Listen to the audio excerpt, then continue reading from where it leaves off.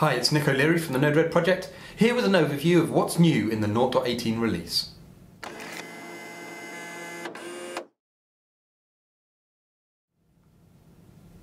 Projects is the first major feature we're adding in our roadmap to version 1.0. Projects change how you manage your flow files. They give you a Git repository to bring version control into Node-RED. Have a look at the documentation and the other videos we've created that show everything you can do with projects. We've added some new nodes around message sequences. We had the split node already that could turn a single message into a sequence of messages. Well, to that we've now added a sort node for changing the order of messages within a sequence. We've added the batch node that can be used to take individual messages and turn them into valid sequences, either based on number of messages or time slicing. The join node has a new reduce mode added to it, where you can run a reduce function across all of the messages in a sequence to generate a single message output.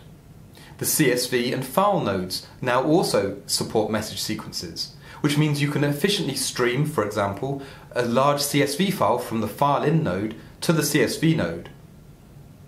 You can now customize the icon for individual nodes in your workspace. Within the editor, if you go to the node settings panel, you can see the options there. Currently, you can only pick from the icons available within the runtime, and in the future we'll extend that to help you customize the icon even further. We've recently added support for scope modules in the Flow library.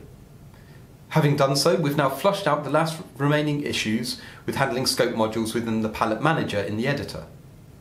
We've updated the version of JSONata we use in the expressions to version 1.5, which introduces some nice new functions to the language. Check out their release notes for more information. We've updated a number of the core nodes to not assume you want to use message.payload as the property to work on. For example, the JSON and the XML parser nodes can now operate on any message property.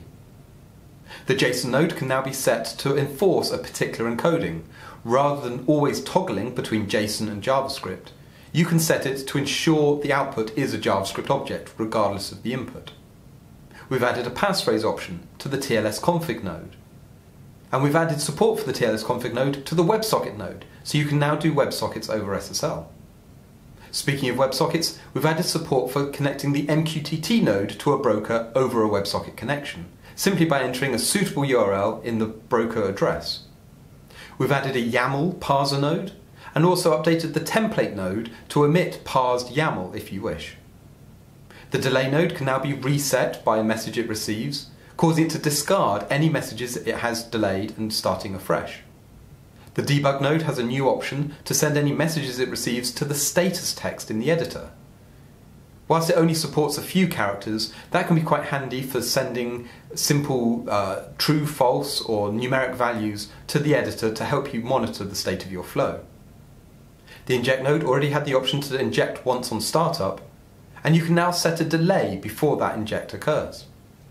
And finally, the trigger node can now optionally treat messages with different topics as different streams to trigger. So as you can see, there's a lot going on in the 0.18 release. The project's feature is really exciting and we look forward to your feedback on it. We know it's not going to do everything everyone wants in this first version, but it's through your feedback we can help shape its direction moving forward. So get involved on the mailing list, on the Slack team, and subscribe below for future updates.